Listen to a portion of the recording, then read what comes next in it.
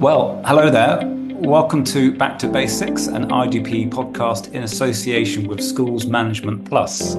I'm Simon Lerwill, the Director of Development at Marlborough College and Chair of IDPE. Each week in this podcast, we will hear from an experienced development leader who is part of IDPE's New to Development programme and an expert in a particular area of fundraising and engagement. And today I'm delighted to be joined by Kristina McClendon, Deputy Director of Development at Magdalen College School in Oxford. And Kristina is going to be sharing her experience and expertise on regular giving programs. Welcome, Kristina. Thanks for having me, Simon. It's a pleasure. Now, we're going to start, as is traditional, with a short icebreaker question, which is what's the fundraising or engagement idea that you wish you'd thought of and why? I wish I had thought of giving days. Uh, coming from a background of fundraising in the US, uh, they've been happening there for lots of years. I think it's a great way to bring together the community um, and really harness best practice to fundraise for an institution. Absolutely. Now, talking of the US, You've been at Magdalen College School for four years, but before that, you worked for NYU in the United States. So you've got experience of both countries. Uh, what do you think development development in the UK can learn from the US? I think there's a lot around uh, surround sound strategy in the US um, in terms of asking, um, incorporating a lot of different channels in your campaigns um, that the US does very well and that the UK is still learning about. Mm-hmm. Um, I'd also say that we just ask a lot more. Um, mm. And sometimes that might not be appropriate for the UK audiences, but I think it, it becomes part of this culture of philanthropy that I think we're all looking to develop here. And what do you think, uh, reversely, what do you think the US could learn from the UK? In my experience, I have found fundraising in the UK to be uh, very relationship based and a lot of people giving out of altruism because they want to make a difference. They have a deep connection with the institution or organization they're giving to. Whereas in the US, it's always felt a little bit more transactional. Um, you know, there's a lot of tax benefits no matter what tax bracket you're in. Um, and it's, it's so par the course in the US that um, there's not a lot of uh, you you know you don't need to tell them necessarily the impact that you're making in the same ways that you know that's part of the culture here. Yeah i like that because we so often talk about you know the us has a better culture of giving it's got bigger gifts more donors and we rarely i think think about the uk and actually yes we might have uh, fewer big gifts and fewer donors but maybe as you say those donors that do give um, you know it's more important the the they, they feel more strongly um, about the donation they're making. Absolutely. Oh, good. Okay. Um, well, the main theme of the podcast today is regular giving. Uh, now, these, uh, for those who don't know, uh, are fundraising appeals which can be via direct mail, telephone, email, online, social media. And the aim is to create a sustainable, regular fundraising income. So, Kristina, how important do you think regular giving is as part of a holistic fundraising program? So I think regular giving is essential. It's the backbone to any successful fundraising or development program um, for a few reasons. I think it's an opportunity for the community that you're working with to raise their hand and say, I'd like to join you. Um, I support what you're doing. And hopefully, in time, you will build upon that sort of support and move people along the donor journey and the donor pipeline um, to get them into those mid-level gifts and those major gifts. Um, but the you know the regular giving part, it's the first instance that you're going to have to to connect with your community. Yeah, and have you seen that through your career that the regular giving is like the small seeds scattered on the ground, and then over time, you know, that will grow into bigger and bigger gifts? Absolutely. And I think that there's lots of ways that programs can really harness that energy, um, whether it's identifying, you know, mid-level or major gift prospects in a giving day or a telethon because they've given a bit more than you asked for, or you know whatever that looks like. Um, you could really see the seeds of that. I'd say uh, at MCS we've also seen lots of donors who maybe started their journey five years ago through our telephone program now become some of our major donors, um, and it's great to really see that progress and and um, see how that relationship can grow. Yeah, it's fantastic um, and a really important connection between the two. Um, so tell me about a successful regular giving initiative. in May 2020 during COVID. I was asked to, to plan a campaign. It was sort of our first regular giving campaign at MCS in, in several years around hardship and bursary support.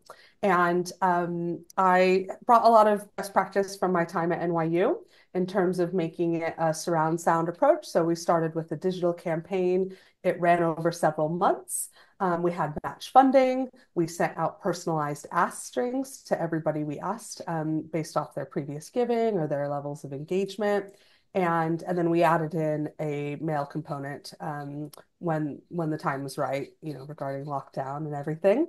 Um, and I think it was really it was impactful not just because the ask was important and significant, um, for our community, but also because we showed the community that we know we, we know who they are, we know where their interests are. We incorporated historic benefactors. We talked a lot about things that are really relevant to the MCS community, and it allowed people to really rally behind this campaign.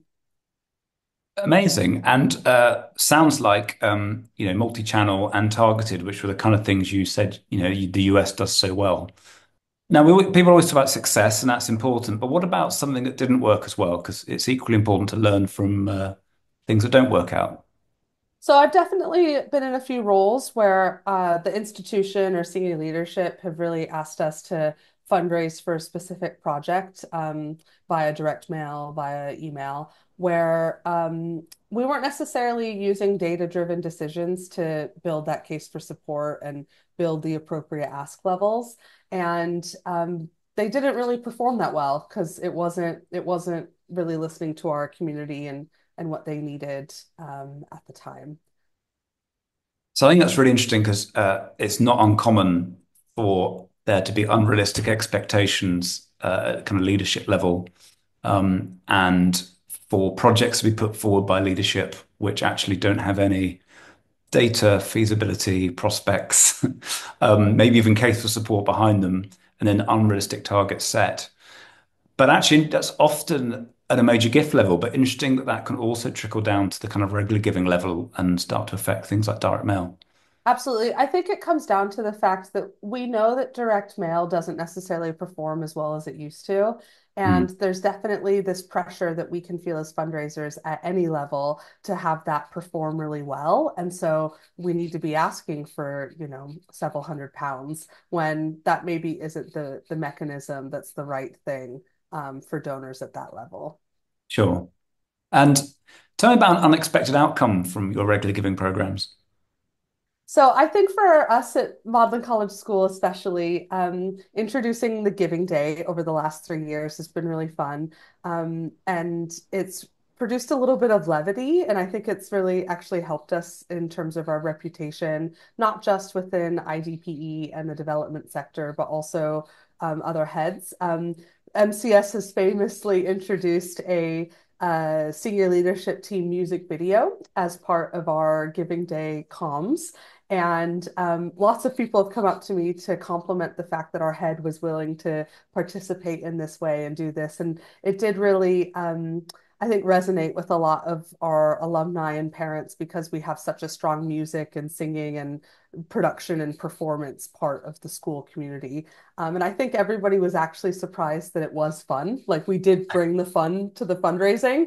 Um, and, you know, they were a little hesitant when I had suggested that as an idea. So I've seen this, and uh, uh, it is fun, but it's quite clever, isn't it? Because your school, I mean, that's part of its history. Singing has been an important part of the school's history and its, and its ethos. So I think whenever you tie fundraising back to you know what the school was founded for, that's really powerful, isn't it? Absolutely, and it's just it's great. I I wish every head could get behind um, the school traditions, you know, wherever they're at in that way. Um, we need the singing head podcast. We're going to have a whole series of these things um, before we know it. Uh, and you talked a bit about the US. Obviously, they do a lot more asking in the US. Um, what about the kind of rhythm of regular giving then in the UK? How do you see that?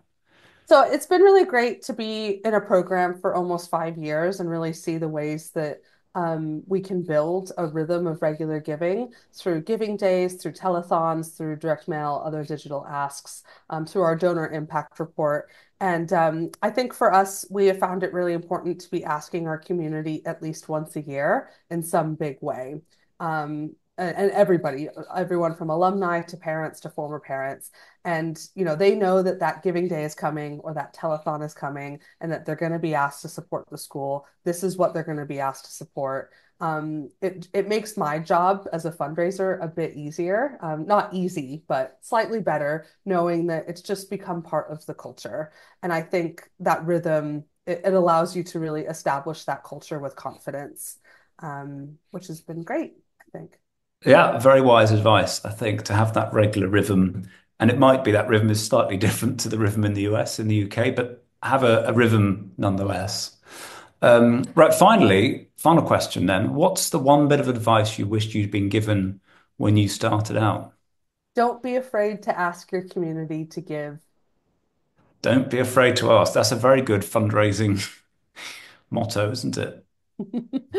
I just think there's a lot of hesitation um, at times, especially through you know times of crisis or or when there's a lot of change and uncertainty. And I feel like the the inclination is to sort of back down and and to think, oh, we we it's not right, we shouldn't do this. But um, I feel like it gives you an opportunity to really build that case and really um, illustrate to your community why donations make such a big impact. Um, and yeah, don't don't be afraid. I think when you ask, you shall receive, hopefully. well, my my favorite motto is actually the uh, on fundraising comes from the the Roman philosopher Seneca, who said, "He who asks timidly invites refusal." I think that's kind of similar. Um, don't be afraid to ask, and also don't be afraid to ask confidently. Absolutely, yes, that's it. very good. Well, that's, that's a very positive note to end on. Um, thank you, Kristina, so much for sharing your time and expertise today, and really interesting to hear about your uh, experience on both sides of the pond and uh, your approach to regular giving at Magdalen College School. Finally, a reminder uh, that you can hear more from Kristina talking about regular giving as part of IDP's New to Development programme, which launches next month and provides an introduction to all of the fundamentals of schools fundraising and engagement. So, if you're new to the sector or in the process of setting up a development office at your school, head to the IDP website to find out more. Thanks for listening.